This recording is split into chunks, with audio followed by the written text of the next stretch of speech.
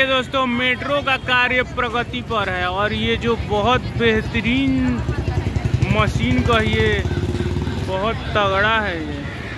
बिल्कुल circle shape का है, बहुत भयंकर है। इसको लगता है कि अंडरग्राउंड में यूज़ किया जाता है। अगर आपको पता है तो बताइएगा ये सर्कुलर नुमा क्या है। ये देखिए दोस्तों, कितना तगड़ा कार्य प्रारंभ है पटना मेट्रो। बहुत तीव्र गति से प्रारंभ है। गांधी मैदान का नज़ारा है। देखिए।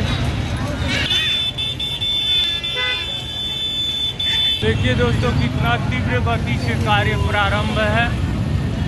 यह दृश्य गांधी मैदान के निकट का है। देखिए